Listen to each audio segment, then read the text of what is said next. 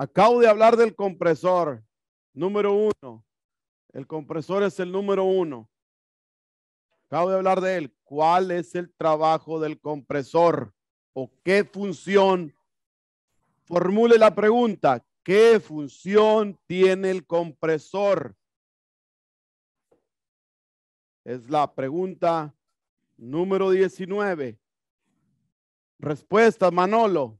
Diga, ahora sí, ya acabamos de hablar de él. Ajá.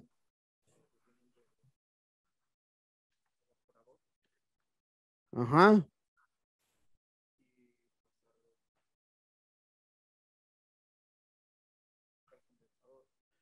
Comprimir. El gas refrigerante.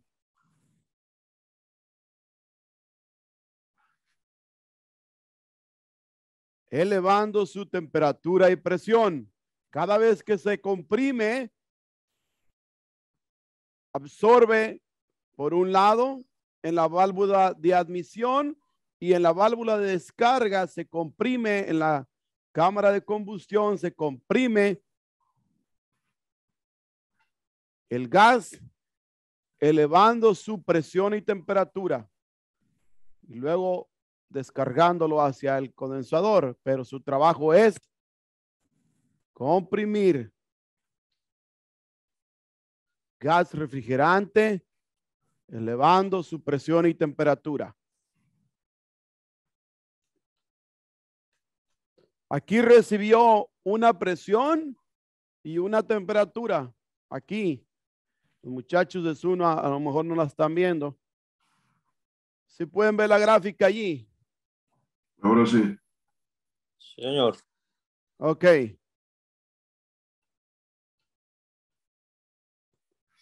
Está recibiendo una baja presión y una baja temperatura en la válvula de admisión. La válvula de admisión es la línea baja, donde viene una baja temperatura y una baja presión. Esta es la línea y la válvula de admisión. Aquí se admite el refrigerante. En la cámara de presión, el pistón sube. En el caso de este refrigerante, este compresor que es un recíproco, el pistón sube, comprime el gas, a la vez que lo comprime, eleva su presión y su temperatura. Todavía este refrigerante que venía de regreso en la válvula de admisión venía con una temperatura que se absorbió dentro del espacio. Esta temperatura todavía al aumentar su presión y temperatura lleva un ratio de temperatura que, que aumenta. Luego vamos a hablar de eso, pero su función es comprimir gas refrigerante aumentando su, presión y temperatura. Luego aquí mismo la descarga. Estas dos temperaturas nunca van a ser las mismas en el, caso de un compresor que está funcionando correctamente. Esta va a ser una presión y temperatura considerablemente más grande que la línea de succión. La línea de succión usted la puede agarrar con su mano, mas esta no. No la agarre porque se va a quemar. Esta está más o menos entre unos 40, 60, cuando esta va a estar como a 150, 180. Se va a quemar, no la agarre. Y si no me hace caso, un día se va a acordar. No, la que viene con insulación es la línea de succión. La línea baja, la que viene de succión. ¿Por qué? Porque aquí el, el, el refrigerante viene todavía a una baja temperatura. Viene todavía evaporando, ¿recuerdan? Viene evaporando a una baja temperatura. Esa agua que ustedes ven en la pipa de succión, esa es la condensación que forma el tubo de cobre porque está expuesta a una temperatura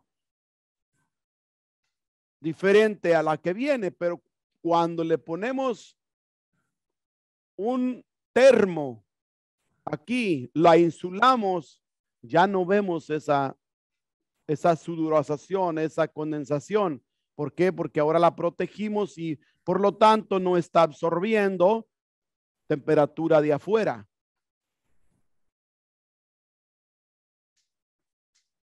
Por eso se insula. ¿Para qué? Porque nosotros no queremos que esta pipa de succión absorba más temperatura, aparte del que ya lleva en el evaporador, nosotros no queremos que absorba más y por eso en las líneas de aire acondicionado, siempre la de succión, mírenla allá hasta arriba, siempre la de succión está tapada, está insulada. Nomás imagínense, esta línea de succión corre por el ático. ¿A cuánto está el ático? En la temporada de calor, unos 150. Entonces, si tenemos un refrigerante que va adentro de la línea de succión que viene evaporando, ¿qué probabilidades haya o hay de que este refrigerante absorba más calor? Va a venir súper cargada de calor. Por eso, precisamente para evitar eso, nosotros la insulamos saliendo del evaporador. Vámonos. Protegerla. para evitar que absorba más calor. Seguimos. Número 20. ¿Cuál es la línea de succión? Acabamos de hablar de ella. ¿Cuál es la línea de succión, camarada? La más grande. La más grande, la más gruesa, dice Pancho. La línea de succión es aquella que sale del evaporador y entra al compresor. A eso nosotros le llamamos línea de succión.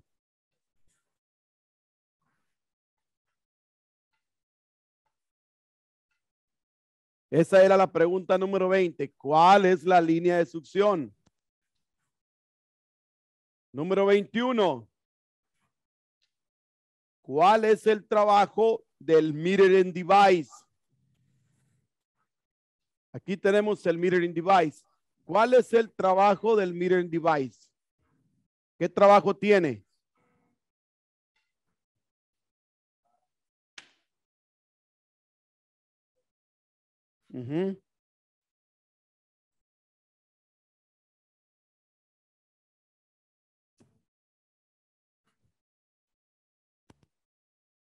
Regular la entrada de refrigerante y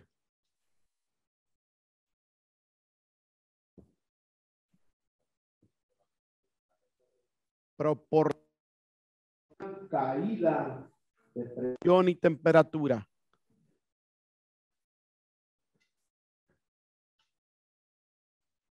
Cuando el refrigerante sale del condensador hace su camino hacia el evaporador. Pasa primero por el mirroring device, llega al mirroring device. Este proporciona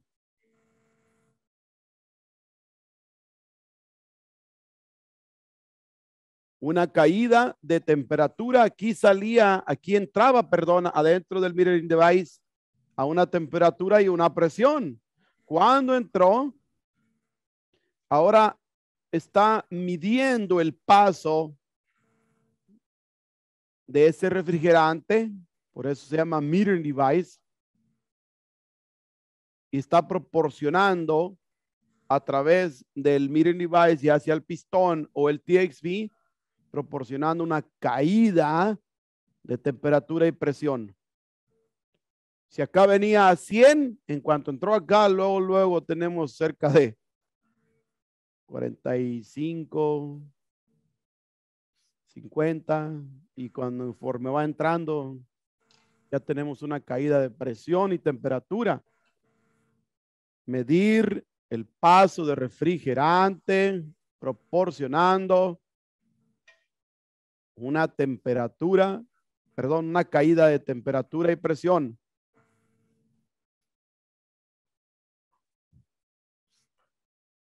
Número 22.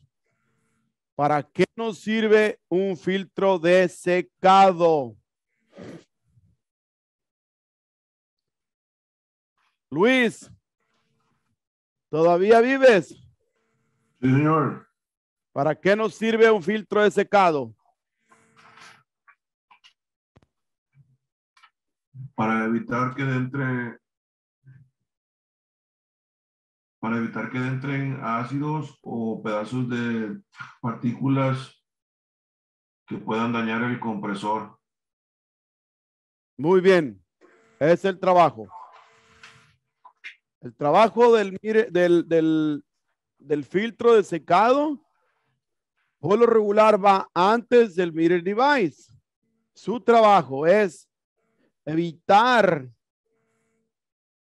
que entren partículas como rebaba, basura, pedacitos de lo que nos, nos haya quedado a nosotros. Este lo retiene antes de entrar al mirror device. A la misma vez nos ayuda a la remoción de la humedad. En el caso de que un sistema se encuentre con humedad adentro del sistema, en todo el sistema de refrigeración, exista humedad en el sistema, tenemos que recordar cómo entró esa humedad adentro del sistema. Una, nosotros permitimos la entrada de agua por medio de los puertos o nosotros no hicimos vacío en el sistema y ahora tenemos nosotros condensables, no condensables adentro del sistema. ¿Cuáles son los dos no condensables? La presión atmosférica que entró en el sistema, que es la razón principal por la cual nosotros hacemos vacío. ¿Para qué? Para sacar esa presión atmosférica y removiendo los no condensables. ¿Por qué se llaman no condensables? Este gas o el aire de afuera, la presión atmosférica que entró, cuando se mezcla junto con el refrigerante, a esto se le llama no condensables. Estos no condensan. Y como no condensan cuando lleguen aquí, una mezcla de gas refrigerante con la presión atmosférica de afuera, no va a condensar aquí, porque no es condensable. Este va a tener una bolsa de aire caliente entre medio, no se va a condensar y entre medio siempre va a haber una bolsa de aire caliente. No va a condensar. Con el tiempo, este mismo aire se va a convertir en humedad. Entre la composición del refrigerante, las moléculas del refrigerante y los no condensables se va a convertir en humedad y a la misma vez se convierte en ácido y este ácido va a dañar los componentes de las bobinas. Las bobinas se van a empezar a carcomer poco a poquito de ese ácido, haciendo que el compresor se queme. Ya tenemos un, corno, un corto adentro, porque este ácido que tenía ahora en el caso que así fuera, te pone un filtro de secado en la línea líquida y otro filtro de secado un poquito exagerado más grande que este. ¿Por qué? Porque la línea de, de succión es más grande que la línea líquida.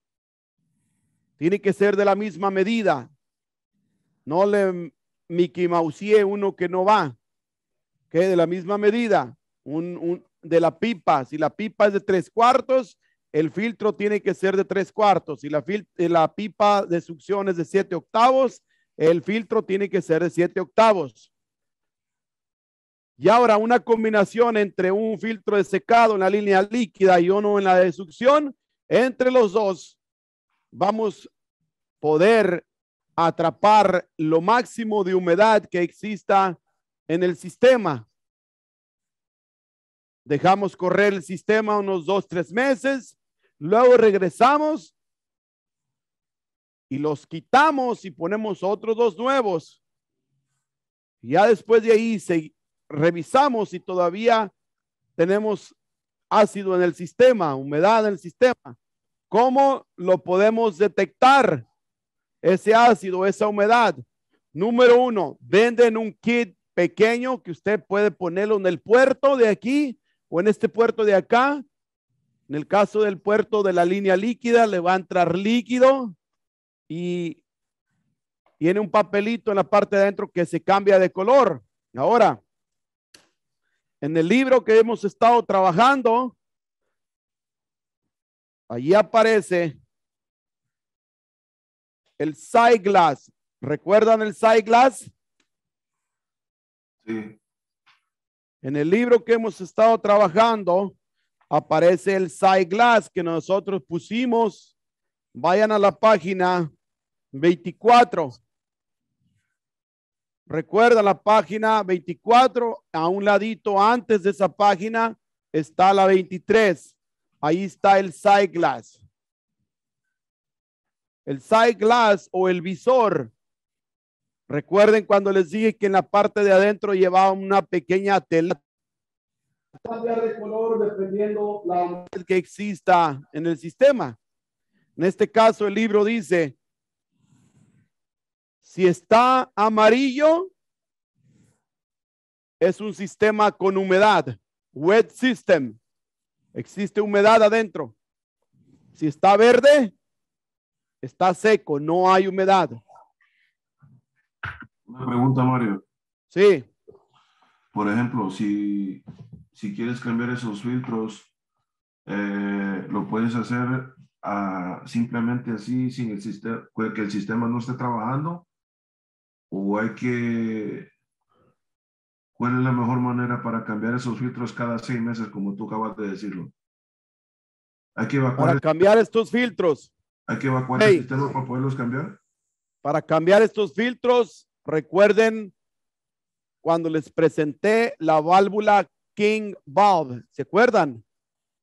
La válvula King Valve es esta válvula que presentaba tres formas de cómo estaba puesta. Una era back-seated, otra era mix-seated y la otra era front-seated. Si usted sabe que su equipo tiene una King Valve, en este caso aquí tengo una King Valve y acá tengo otra King Valve de acá. Si yo quisiera remover estos filtros mientras el sistema está en funcionamiento, ¿qué voy a hacer primero? Yo voy a cerrar la válvula líquida. La cierro la válvula líquida y echo el, el- el equipo a trabajar. Luego el compresor va a succionar todo el refrigerante que exista en el evaporador y en la línea de succión y la va a pasar a el condensador. Condensador.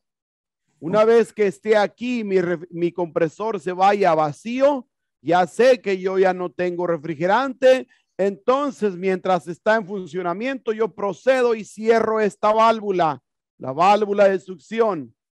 Yo la cierro hasta ahí este punto. Ya tengo la válvula esta cerrada de aquí para acá y esta válvula cerrada de aquí para allá.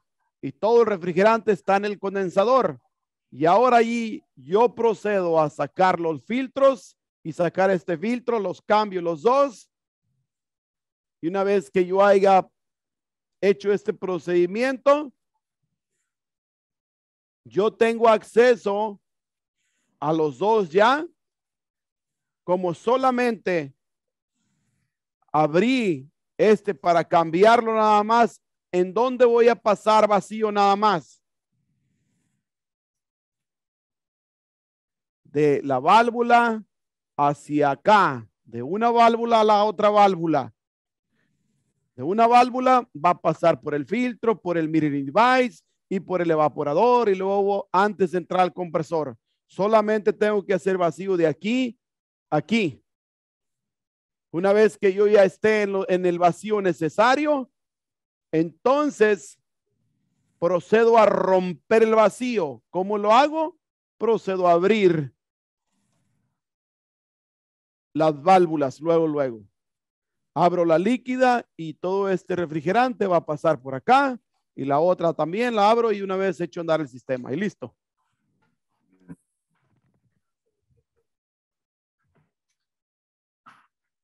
¿En qué lapso de tiempo? Más o menos como unos cinco minutos. Así es. El trabajo del compresor, que es succionar, va a admitir el refrigerante en forma de gas y lo va a pasar otra vez en forma de gas hacia el condensador. Y ahí lo vamos a guardar mientras nosotros hacemos estas dos operaciones. Ok, en un lapso de cinco minutos. En un lapso de cinco minutos más o menos el compresor se va a ir a vacío. Muy bien. Por eso nosotros vamos a poner nuestros gauges. En cuanto veamos que ya llegó a 10 eh, PSI en vacío, menos 10 en vacío, ahí ya podemos nosotros cerrar la válvula y sabemos que ya no existe refrigerante aquí, en este espacio de aquí. Sí, claro, hay que poner los gauges para mirar. Exacto, tenemos que poner los gauges para mirar que el equipo aquí no te va a presentar presión en todo el sistema, nomás te va a presentar la presión del condensador. Y en la otra te va a presentar la presión de todo el evaporador. Pero conforme se va yendo a vacío, quiere decir que ya no está absorbiendo refrigerante, ya está absorbiendo pues nada de lo que hay adentro. Entonces, hasta ahí no hay problema porque solamente está haciendo vacío adentro del sistema. No está absorbiendo allí nada de afuera, nada de presión atmosférica, porque todavía usted no le ha abierto nada. Ojo, no permita que usted mismo meta no condensables de afuera. Entonces, dicho esto, ya que yo veo en mi en mis en mis gauges que ya en, mi compresor se está yendo vacío, entonces ya procedo y lo cierro. Cierro la válvula y listo, pero esta ya la había cerrado yo desde un principio, ahí yo ahí no le meto mano. Se cierra la línea líquida y luego trabajo el compresor el compresor va a absorber todo este gas, lo va a acumular al condensador y entonces yo ya puedo proceder cuando se vaya vacío mi compresor, cierro la válvula de succión. Todo el proceso, yo no voy a saber a qué hora se fue el compresor en vacío si no le conecto los gauges. Yo tengo que conectarlos, si no, ¿cómo voy a saber? Seguimos. ¿Alguna otra pregunta, Luis? Ah, no, gracias. Ok. 22, era el filtro de secado. 23. ¿Cuál es el trabajo del acumulador? Ya lo vimos la semana pasada. Esta, en la semana pasada hablamos del acumulador. ¿Cuál es el trabajo del acumulador? Si bien aquí no está, es un accesorio más que se puede poner. Este va en la línea de succión. Si miran acá de este lado, acá tengo yo un compresor junto con su acumulador. No sé si lo alcanzan a ver, pero aquí tengo yo una gráfica donde está un mini split. Luego, este es mi condensador y aquí mismo, este condensador, aquí mismo, yo lo tengo puesto. Recuerden, aquí se presenta en azul y acá se presenta en caliente porque esta es una bomba de calor. ¿Ok? En cualquier determinado momento, este se convierte en el indoor coil y el otro en el outdoor coil. En este caso, este que vendría siendo del condensador, este ahora se convirtió en evaporador. Se llama outdoor coil, pero se convirtió en el evaporador. Este ahora está absorbiendo calor de la temperatura de afuera para meterla adentro a la temperatura que se pretende calentar, al espacio que se pretende calentar. Entonces aquí yo tengo un acumulador. El trabajo del acumulador, nótense el trabajo. Tengo yo el TXV, viene siendo aquel. Luego el TXV hace su trabajo, ¿ok? De medir el paso del refrigerante, proporciona una caída de presión y temperatura, pasa por el evaporador, absorbe temperatura, luego evapora este gas refrigerante y lo trae antes de entrar al compresor. Si miran, aquí está, primero llega al acumulador y de allí, del acumulador, pasa al compresor. ¿Cuál es su trabajo? Acumular líquido, refrigerante y aceites. En este caso, ¿para qué se puso allí? Digamos que Luis fue a hacer un trabajo y dejó el equipo supercargado o más cargado de lo debido. Entonces, si el equipo tiene una protección como un acumulador, primero va a llegar este líquido que no debería llegar al compresor, primero va a llegar al acumulador. Y después de allí, el acumulador se va a encargar de solamente pasar puro gas refrigerante al compresor. Es una protección para el compresor para que no comprima líquidos. Líquidos. Por lo regular, ese tipo de acumulador lo traen los equipos de refrigeración, como aquel que está allá, el que tenemos acá, o los aparatos que son un poquito más eficientes, lo traen. En el caso de los sistemas residenciales tipo split, ellos no traen un acumulador, al menos que sea un, un equipo de mucha eficiencia. Su trabajo es proteger al compresor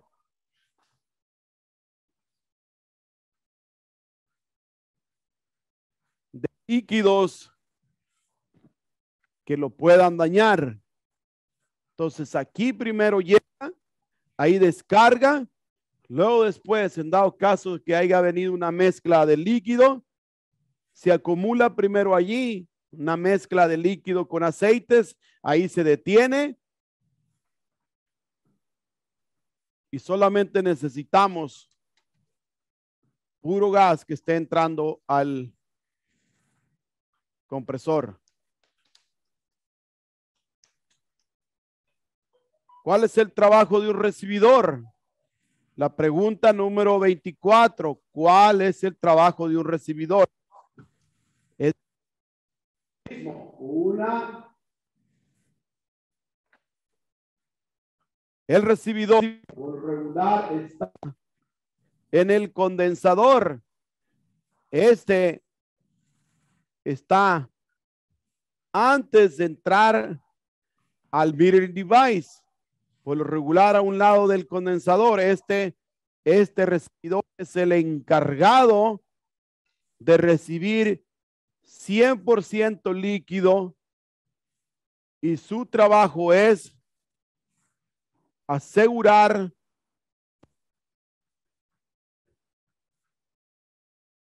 que tengamos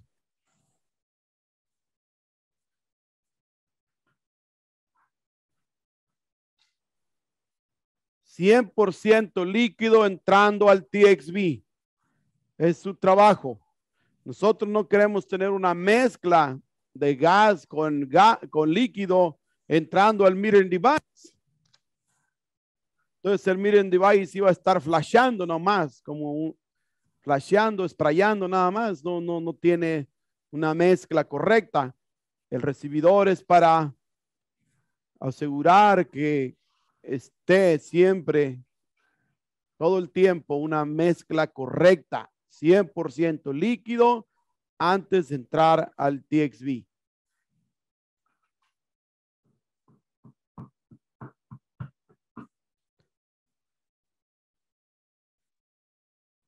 Veinticinco, ¿qué función tiene un termostato?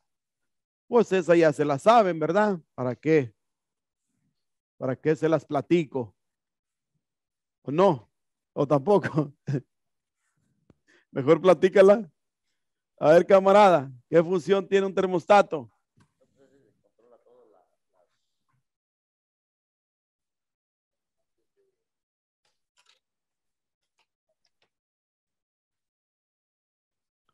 Prender o apagar el sistema. El trabajo es prender o apagar un sistema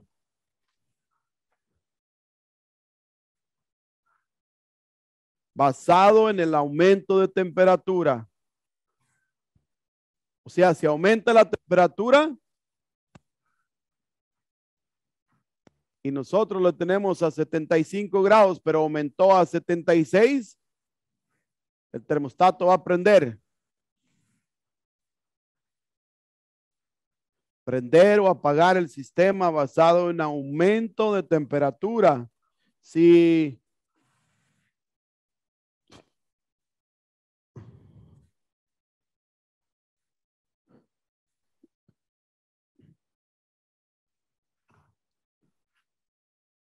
el caso de un aire acondicionado que queremos que prenda, pues aumentar su temperatura, ¿verdad? Ahora, en el caso del termostato que se utiliza para los eh, refrigeradores, como lo es el walking cooler, walking freezer o o el reaching cooler, reaching freezer, el termostato tiene una forma diferente que se presenta normalmente, no es igual que un termostato aire acondicionado, pero su función es la misma. Prender o apagar en referencia a la temperatura. Exacto.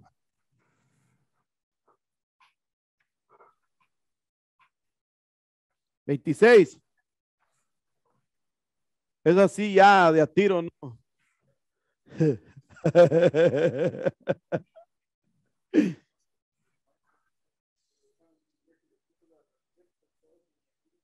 ¿Y así? 26. Si se activa el termostato en modo de frío, ¿qué es lo que prende?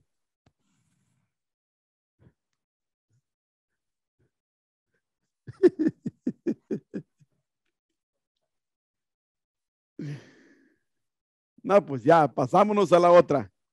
27. Si se activa el termostato en calefacción, ¿qué prende? Contéstenlas.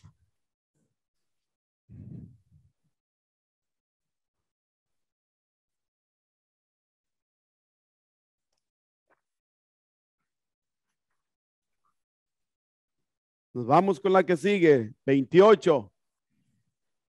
Si se activa el termostato en cualquier modo, ¿cuántos grados tiene que haber de diferencia para que se active el equipo? Una, una otra. ¿Cuántos grados tiene que haber de diferencia?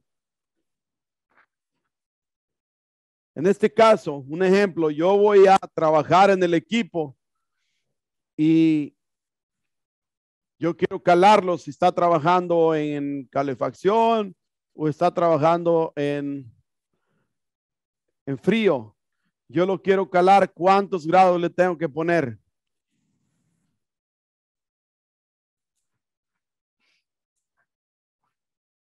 Cinco grados de diferencia. De cinco en adelante, lo puedes poner hasta el 100 si quieres. Pero cinco grados en adelante. O sea que si yo tengo una calefacción y adentro del espacio está a 70 grados, obvio que no está trabajando, por eso me llamaron. Y como me llamaron porque no está trabajando, pues va a estar como a unos 65. Entonces, para que yo lo pueda aprender y pueda trabajar en el equipo y calarlo, yo voy a subirle 5 grados al termostato. Y en esos 5 grados, ya el equipo va a aprender. ¿Por qué 5 grados? Porque muchas las veces los termostatos se encuentran descalibrados. Y por eso, si yo aumento 5 grados, voy a poder echar a andar ese termostato y le estoy mandando la señal para que arranque el equipo y allá yo pueda hacer el troubleshoot, el diagnóstico. ¿Cuál es la pregunta 28, Mario? 28. Si se activa el termostato en cualquier modo, ¿cuántos grados tiene que haber de diferencia? Ya sea el modo de frío o el modo de calefacción. Ok.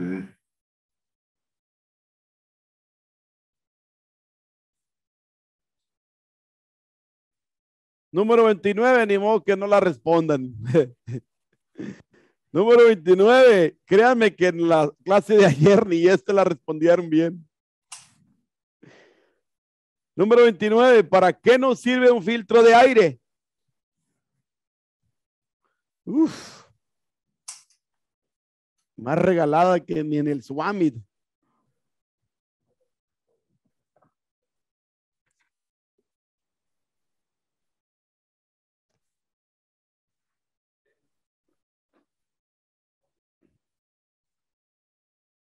¿Cuál equipo? ¿Cómo se le llama? Retorno y luego, ¿cuál es lo primero que se va a topar? No, el blower es el que lo sopla. Sí. Al coil, al evaporador. El aire es absorbido por medio del blower, creando una presión centrífuga. Lo absorbe y lo pasa luego, luego por el coil, el evaporador, el coil evaporator, evaporador. La intención de poner el filtro es evitar. Conteste la camarada, sin miedo. Sin miedo a la ley.